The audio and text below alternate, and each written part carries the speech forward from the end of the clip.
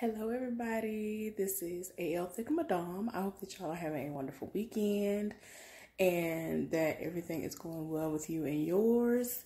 Everybody's fine in my neck of the woods.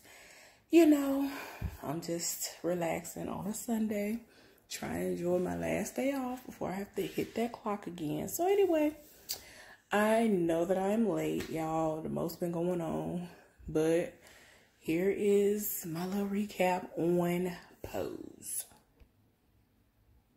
So, this episode started out with them at the ballroom scene, like it often does start out. And Pray Tell is doing his, you know, MC thing, his announcer thing. You know, he is the one and only. Anyway, he is basically like, look, we know what's been going on over the past few weeks. Madonna has been charting the top, you know, the top of the charts, and everybody sees us now because of her song where she is talking about voguing. And, you know, it's a lot of the stuff that has been seen in the ballroom scene. So people are here for it. And so he was like, you know, what we gonna do today is we gonna do, you know, another little spin on it and it's something about lofting. And he wanted um he wanted i'm not gonna say what certain words that are considered to be derogatory that he was talking about but anyway he wanted um some guys to come up there and vogue but they were like i guess they were like dressed like straight men so to speak, and you know, not really clockable. I think that's the the best way I can describe it.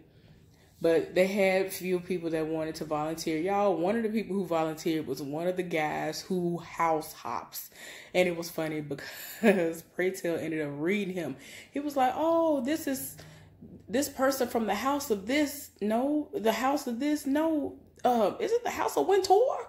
Like that's the boy, one of the boys who ended up house hopping. I was dying laughing when Pray Tell said it, but that really was what it was, y'all. So I was like, stop. So anyway, y'all, this one guy came up there and killed it. And so Pray Tell was like, look, we don't even need the cardboard. We already know what his score is gonna be. So he was like, you know, if there's anybody else who is big and bad enough to come up after him, feel free. But I don't think nobody is bold enough to do such a thing. Going once, going twice, and he was about to close it out and be like the next court category is. And Candy slowly pranced through the crowd like um I'm next, basically attitude, and came up there and took off her little blazer and she had on like this Madonna. You y'all know Madonna is known for the look the little cones and things.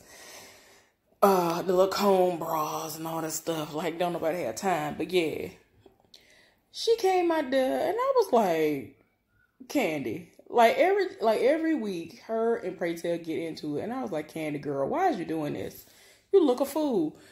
It ended up being like, look, stop, stop, stop. Cut the music off of everything. Pray Tell read her down, and then it got to a point where they were going back and forth. And then she eventually was like, Pray, why you always going in on me? Why you always reading me? And all this other stuff. And then, you know, she was like, You need to give me a chance. I'm being myself, and all this other stuff. You always preaching about how you need to be yourself and all this other stuff. But when I'm in here, you treat me basically the way that the people out there treat me, and I should be able to be treated in a decent way too. You don't even give me a fair chance. So pray tell ain't want to hear all that. He was like, look, we'll just let everything. All, we'll just let the numbers speak for themselves. So he ended up letting the other people do what they do, which is they judge everything and they give the numbers and her numbers were really low and he was like look i don't even need to say nothing else. The numbers speak for themselves y'all. It was a lot i was dying because candy cannot like if it ain't got nothing to do with how she looks as far as her face is concerned she gonna get red. Pray tell gonna be looking like why is this heifer up here.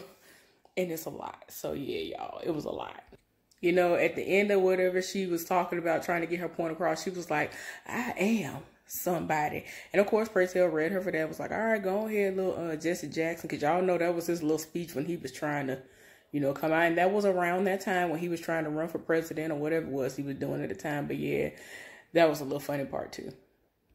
So Blanca, Pray and Nurse Judy end up meeting up. And that at this particular time, they met up at um, Nurse Judy's job on, on her break. She has like a 20 minute break. And so she was like, Look, we meeting here today because I ain't got time and I only get a 20 minute break. So it's like, Oh, we here because of you. And so she was like, Yeah. So anyway, Pray Tell thinks that they're there to discuss some sort of event because y'all know he lives for a good event, but that's not why they were there. And so they had to let him know that that wasn't why they were there. They were basically there to try to have an intervention and get him to get on that medication because his numbers are drastically dropping. And apparently, the medication that Blanca got on, her numbers have risen and like risen by a lot. So, yeah, they keep telling him you need to get on it, and you know, they're worried about him. Like, they really are genuine friends of his. Pray Tell was not here for that at all. He done went all the way off. He was like, I have some way, some place to be. And eventually he left. So I was like, oh Lord, pray tell you have to. Like he, re- you could tell how angry he was because he was like, I know this ain't an intervention, and that's what it was, y'all. So anyway, the place he did have to go, he really did have to go somewhere, and he ended up meeting up with the other people who are judges at the balls, and they were meeting up at some place where they were going to eat and they were discussing new categories. They were like, look, we need to get some new categories. So, you know, what we definitely not going to do is add the category of lip syncing. I've heard people want to do that. And, you know, everybody knows that Candy live for stuff like that. And so he was like, yeah, we definitely not going to do that. Tell me why Candy was like a couple of seats up from them with her back facing them and then she rolls up out of the chair and says something. I was like, girl, why? So apparently she heard that that's where they were going to be at. And she was like, ain't no secret that this is where y'all be meeting at or whatever. And I knew that y'all had to come up with some new categories and I wanted to be in on it. And she really did try to push for it. And Pray Tell was like, nah, what we're not going to do is that. Y'all got to a point where Candy rolled all the way up on him, snatched him up, put a knife to his throat. Granted, it was like a butter knife or something like that, but she still did it. Y'all know that she she kind of nice with a knife. Y'all remember when she rode up on Elektra and was trying to cut her? Like it was a lot going on. She ain't scared to cut you. So, y'all, it was just bad. I was like, oh my gosh, girl, no. So she was just like, look. I was just like, girl, stop. Like, she eventually let up and when she walked off, Pray Tell said she must be a Scorpio. I hollered because all of my interactions with Scorpios have been terrible. Most of them are trash. I said what I said. I'm sorry if I, I uh, end up losing a few of y'all as subscribers, but I'm just saying. I didn't say you were trash. I'm just saying a lot of the people that share the same sign as you are trash for some unknown reason. That's just it. y'all, but anyway, um, they ended up doing a category at the at um at um their um a ballroom situation called uh, Higher Than Heaven, and that was really cool. I like that. Um, he wanted people to be innovative and um, innovative experimentation. He didn't want you to look like trash. They had somebody that came up in there that looked like she had on like um if I had to think of somebody offhand, it seems like something that Erykah Badu or Andre 3000 would wear back in the day, like when he did that song. I hope that you're the one. If not, you are the prototype. And when Erykah Badu did that one song, which is that, ah, ooh, hey, I'm trying to decide. When she was in that video, kind of like, uh, alien type of feel. Kind of like that. It was okay. And then this one woman came in there and she had like cages on her head and a bigger cage that was created to mimic a skirt and all this other stuff. Like it was cool. It was it was a pretty cool category. I thought it was nice. So anyway, y'all Lulu done rolled up and she is crying down and she is in her feelings because she hasn't heard from Candy. She don't know what's going on. And so Blanca was like, okay, well, what? I mean, I don't understand why you're in your feelings like this. So apparently, um, she has taken up a side hustle, a main hustle, which is prostitution. You know, being a lady of the night. And y'all know how outspoken Candy is. Candy is the type of person that she was like, Well, I'm gonna do what I wanna do. And since she is co mother of the house that she and Lulu, you know, are the mothers of, they are the ones who fit the bill. So a lot they they they apparently have been like short on funds to the point of where she ended up picking up that job and because she already strips. Y'all know she's already um, a stripper. I don't know what else she does but they made a point to show us that she's a stripper. And it just got to a point where since lulu knew that there was no way that she could change her mind she was like okay so whenever you're done doing what you're doing you need to call me basically so that she has a reassurance that she's okay. She hasn't called her in two days. She hadn't seen her in two days. She feels though something really bad didn't happen. And so Blanca was like, well, did you go down there and see, you know, if she's there at the hotel? Because it's the one specific hotel that she goes to when she's doing these jobs. And so she was like, no. And then she was like, well, if I go down there, I don't want to go alone. I want you to come with me. They ended up going to the hotel. They were talking to the hotel manager, and he was just like, Do you know how many people come in and out of here a day? They ended up having her picture, of course, showed the picture of what she looked like. And he was like, I don't know. I don't know about all that. And so they were like, Look, she normally goes to room number 44. Do you know if she's in that room right now? They, and Blanca actually looked over and she saw the key was missing. This is one of those old style ones with the key just hanging up. And when they give you the room, they I, he probably wrote down whoever whatever little um, uh, fake name was given and all this other stuff as far as information is concerned when you know delving out the keys. And they saw that the keys were missing and they were like look this is what she looked like. She says that she normally gets room number 44 when she's there because it has it's the only one that has a vanity in it. And so he was like look i don't know if they're there but and so blanca was like well look so you could tell that he was being like, I don't care. I'm dismissive. I just don't care about the situation. It ain't that deep. I just want this money and leave me alone because you're interrupting me doing nothing. And so Blanca was like, Look, if you hear anything, let me know. Call me. So she left her information with him at the front desk and then they left. So I was like, Lord, this is too much. Y'all, it then got so serious that Blanca and them have gone through the trouble of making missing flyers for her. So while they're doing that, and it's to the point where they were like, "Well, are we having family dinner?" She was like, "Nah, all hands on deck. We ain't having no family dinner. Do whatever you're gonna do, but we got to get all these flyers up. We don't know what's going on.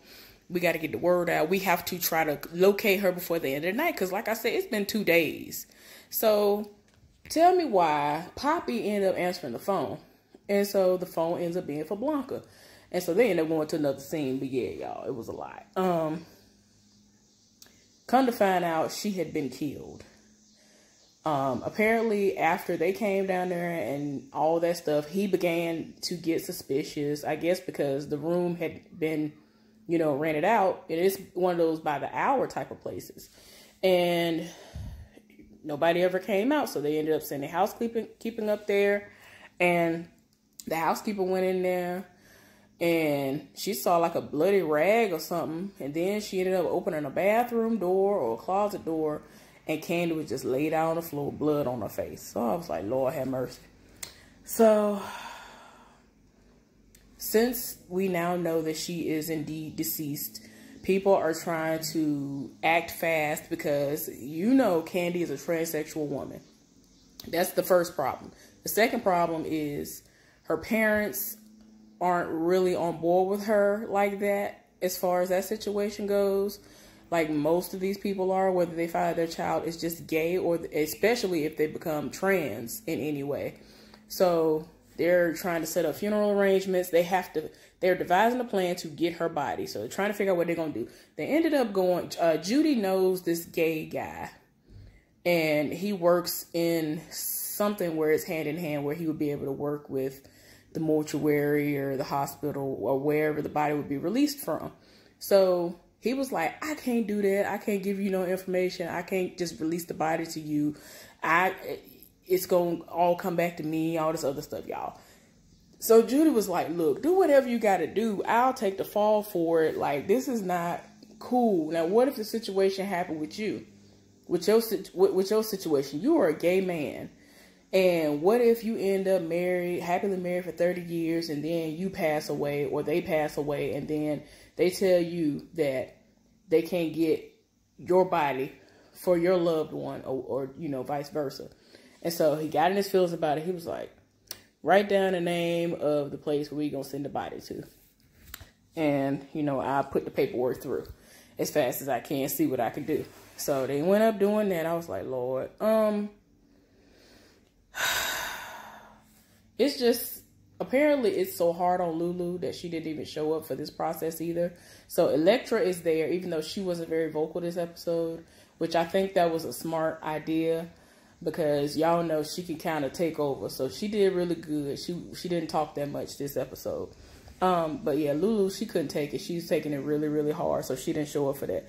Y'all, the funeral home director set it all the way off. So he, he ended up taking the body and he was talking to Blanca. He was like, I embalmed her for free. You know, she used to come down here very, very often for other people's funerals. She made a point to learn what my name was and, you know, greet me. She was very nice. She was very caring and she really cared about all the people who were coming down here. And she would, you know, she was just so pleasant and she was just like, this is just a shame that all this stuff is happening. And it was just so crazy. And I don't think anybody knew that she was doing this. So he ended up embalming her for free. They didn't have no issues with all of that. The problem came in when they went to go and view her body. Y'all know they have whoever doing the makeup dying there. And she wasn't going to be looking how she looked normally. So she was looking like a mess by the makeup and the hair. And it just got to a point where Angel was like, "We need, we got two hours, so we all need to dump our purses and do what we can do." So they dumped their purses out and they started like wiping the makeup that she had on her off, and then they redid the makeup. And whatever they did, it looked nice. That whoever did her eyebrow, her eyelashes, it was, I mean, her eyelashes, her um eyeshadow, it was gorgeous. Like everything they did, it complemented her skin tone, everything. She looked really nice. So I was like, okay then. Um, y'all. So everybody arrived from the ballroom scene, people who knew her. Angel's task was to get in contact with the parents, and they were not having it. They weren't going to show up, or so we thought. They ended up showing up later, but that I'll get to that in a little while. So anyway, y'all, of course, they ended up having Pray Tell doing the eulogy, and he was just like the master of ceremony over the whole funeral, the whole funeral, y'all. And he got up there. Y'all, Pray Tell was in his feelings heavy. And I think that it has a lot to do with even in real life, you'll have your beef with people. But if you aren't evil and you don't have a hard and cold heart, you will feel something about the situation. And he was deep in his feelings, like he cried a whole lot. Y'all, so, you know, I'm glad. My thing is this this is what I appreciate, and this is what I wish people would do at funerals in real life. He got up there, he was in his feelings, but he was like, y'all, y'all knew what our situation was. You knew we didn't get along. And like everybody, you know, started laughing and it broke the ice a little bit. And he was like, you know, it was a tragedy what happened to her. And, you know, I would read her and she would read me. We would always go back and forth. But that's just like how it is with a sibling rivalry anyway. Family ain't gonna always get along, but when it matters, we all come together. So he did what he did, y'all. Then he eventually did uh, like a moment of silence or whatever, and went and sat down.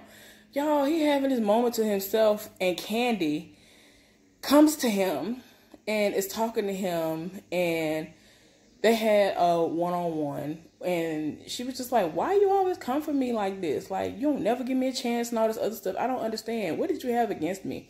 So they had their moment. I was like, "Yay!" And you know, initially, like like literally when she first appeared, she was like, "I forgive you." And he looked around like, I know good way, because everybody else, they, you know, their eyes are closed and heads are bowed. And so he looking around like, that sound like candy. And she was like, you heard right, I forgive you. And, you know, she's literally being herself. I was like, oh my gosh, y'all, it's so cool. But they talked for a good little while. And, you know, she was like, you know, why did you have such a problem with me? And he was like, you know, I don't know. I guess it was because I didn't want to look at you. I, I didn't want to look at you. I didn't really want to recognize you because you represent everything that I have to fight against out in the world. And you face it head on. And, you know, it was just a lot. She was everything that he always wanted to hide from in the world when he goes out. And I was like, oh my gosh. Y'all, he was really deep in his feelings. Y'all, Blanca had to break him out of his little moment when he was having with, with Candy and be like, get on with it. So he went back up there and all that, right? So he can go ahead and continue to, you know, be over the the uh, the uh, funeral. So Angel went up there and she was, you know, saying her goodbyes to her and y'all she just couldn't take it no more. She like she was up there like why are you in here? I don't understand why you in here. It should be me it shouldn't even be you. Because she was out there doing that. Like y'all she was at the piers doing all this same stuff that would get you killed in a heartbeat. And she was lucky enough to not end up like that. And you know as of right now she has been doing well with that wet and wild contract. She's the face of it during that particular year and all that. So, y'all, Candy came to her and was like, you know, you I I know what you've done. Don't do that again. And you know, she was like, I don't know what what I what I can do. It's supposed to be me and all this. And she was like, I know you got that in your back pocket as far as you know her trying to go back out there. Like if she feels like if she feels like the modeling and all that stuff ain't gonna, you know, go through and go the way she feels like it should, then she's gonna get right back out there into that dangerous territory and possibly end up in a casket as well. So she's telling her, don't do that or whatever. Y'all, she got in her feelings and she ran out. So in the foyer, Lulu is sitting there. Nobody's thinking Lulu was gonna show up. She ended up um being there. But before I go into that, um, she told Angel, You need to take my death as a lesson. Look at my death as a lesson, as a um, cautionary tale, if you will. So I was like, Yes, girl, tell her that in death. Y'all, she was talking to her. So anyway, she ran out. And Lulu, you know, she really was about to, she was almost at the door. And then Lulu was like, Angel, and so she was like, Oh, we didn't think you were to show up. And she was like, I can't go in there and see her like that. I can't go in there. Like, she really is messed up over it. So she was like, You need to go in there. And, you know, um, she actually persuaded her to go in there. Y'all, she went in there. Everybody shocked to see her actually show up. And, y'all, this heifer is at the casket. At first, she was, you know, still in her feelings like she had been. And then all of a sudden, she was like talking to us and she was like, This heifer stole my brooch. She done snatched the brooch off of her. She done snatched the gloves off of her hands. Nobody knew what was going on until she snatched the gloves off. They was like, Did she take the gloves off? Then she proceeded to try to pry the wig off of her head. I was like, you know what? I am all the way done with you, girl. I cannot. Like, I can't y'all, she ended up leaving out, storming out, and went and sat outside of the place and started smoking. So Candy came to her and she was reading her and oh Lord, I was like, Lord, this is too much. Um and so, you know, you know, they had the little moment. She was like, girl, you know, we always, you know, we always had our moments, but you know, we always came together. And she was like, You ain't gotta worry about me. You can let me go. You ain't gotta worry about me. One day you gonna they're gonna be it's gonna get to a time where you're gonna wish I was around. You're gonna think about something, laugh about something, and then you're gonna think about me. You're gonna look to your left or your right. You ain't gonna see me there and wish I was there. So anyway, she had her moment and she got in her feelings. Y'all, so they went back on the inside and they had Blanca in there humming um Yes Jesus Loves Me. And they had that the moment that she had with Candy was both of them humming that song together and they they were harmonizing with the humming. I was like, y'all better harmonize y'all better harmonize. so that was cool. Um, but um, Elektra ended up coming to be like, girl, you need to get in there. There are these two old people that look like, I don't forget what she said, in there partaking of our refreshments. And so she was like, what you want me to do about it? She was like, go and get them to get away from there. So I went in there, y'all, of course, it's Candy's parents. So she asked who they were, and you know they were like, um, uh, they basically said who they were, but not really. but yeah, y'all, y'all, and as soon as Blanca said Candy, she was like, Candy, what kind of name is Candy? And so she was like, that was the name that she chose for herself, and you could tell that her father was here for for Candy. You know what I'm saying? Even though he didn't know the extent of how everything was, you could tell that he was the supportive parent and the mama was the one who was very very the type of person that probably had her to run away and I want to deal with them anyway. Y'all, so Blanca was like, well, everybody who loved her came out and supported her. So if you want to, I'm inviting you to come to the back and say goodbye. So they ended up coming in, everybody looking, trying to figure out who they are. Angel instantly was like, that's Candy's parents. I can't believe they showed up. Y'all, they went to the casket looking at her. Candy came to her mama and she was talking to her mama and she was just like, um, she had her mama with her mama and she was just like, I never understood you. I just thought that you were, you know, um, being creative and she was like mama i used to play in your wigs and your makeup and all that stuff all the time. You never tapped my behind. You never shooed me away. I just automatically thought that you were supporting me. And so she was like no i didn't know what was going on. There's no handbook on this and all this other stuff. And so you know they ended up kind of having a, a, good moment. So I was like, okay, I'm glad she ain't try to act a fool in that moment. And so she was like, you know, you're different on the outside, but you're still my baby on, on underneath. And so she told her that she loved her. And then she ended up going, you know, appearing on the side where her daddy was standing. And so she was talking to her daddy. And her daddy was just like, um, she was, she was like, you've always been good to me. I've, I've you've always been sweet on me and all that. And so she remembers her favorite Christmas, which was one year he had gotten a dollhouse that she wanted. And he, I don't know if he tried to make it seem as though it didn't come from him or, oh, I don't know where it came from. You know how some people, if one spouse feels one way, you got to be on the side of the spouse, even if you don't believe it. I kind of feel like that's what might have happened.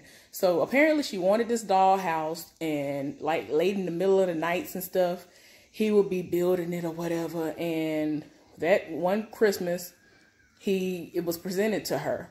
And she said that, you know, he didn't know it, but she would sneak and see him building it and all that. And she was like, You just don't know that was the best Christmas that I ever had. And so he was like, I just wanted my child to have what they wanted.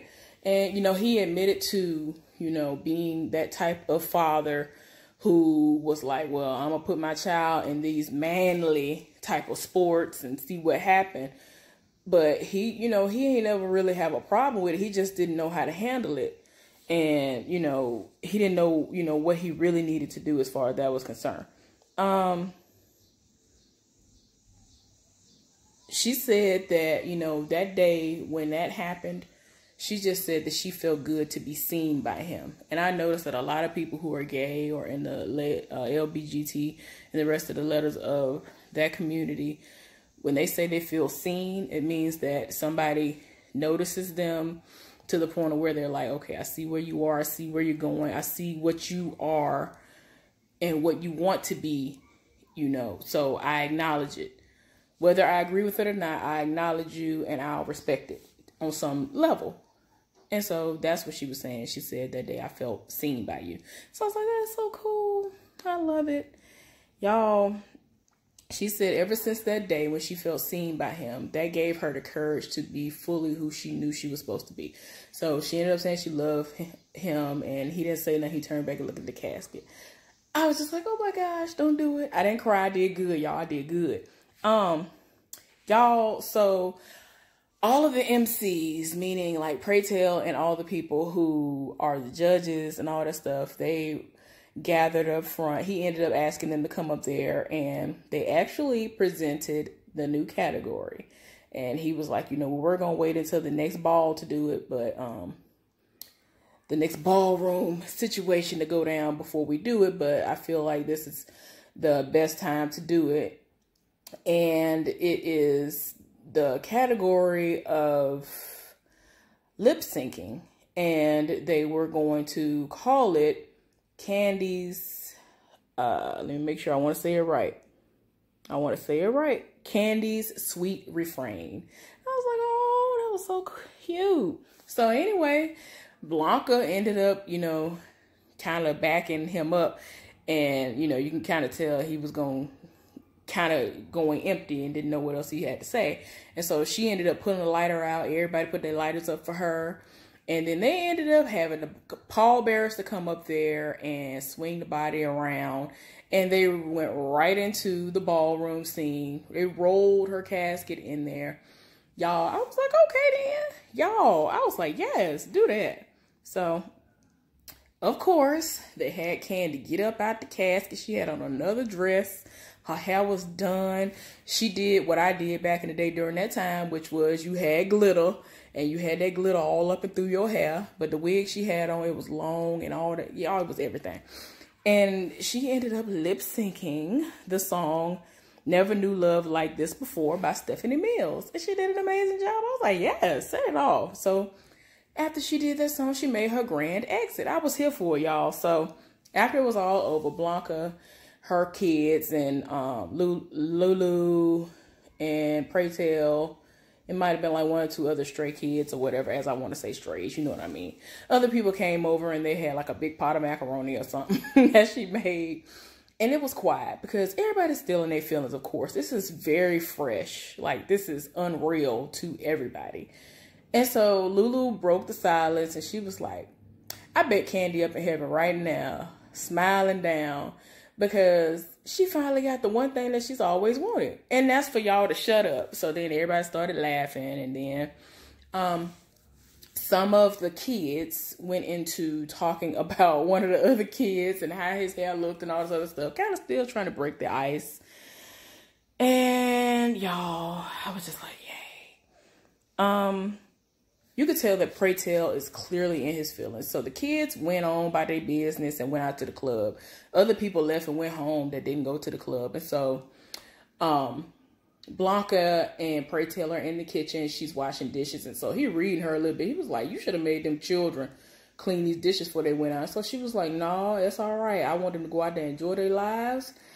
And I like the quiet. I like the peace and quiet. I don't mind doing this. They can go on by their business. So, you know, after that moment, Pray Tell was just talking and he ends up she was like, well, that glass already clean. And so he was like, you know, I know, just fill it up. I'm, I'm feeling a little thirsty.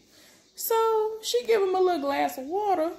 He pull out the thing of pills. I was like, oh my gosh, yeah. Y'all got happy. I got happy like it was a real situation happening in front of me. So Pray Tell has finally decided to go on ahead and take that medication. Blanca was so excited that she joined him. And so he was like, oh, this a party now? And she was like, nah, this is a um toast. So they toasted to that. And he was just like, look, I don't want to waste my life. I don't want to sit up here. I've been reminded by Candy's death that life is too short and too precious. And I want to live my life to the fullest. I don't want to go to my casket with any regrets. So that's all that happened with this episode, y'all. I was here for it. I hope that y'all enjoyed my review. I love it so much, y'all. I'm sorry. I'm going to try my best to start cutting these down to the half the time you see right now because I get carried away. And this show was an hour or something anyway. So yeah, y'all. Anyway, I hope you enjoyed this. Y'all have a good Sunday. Have a good one. Bye.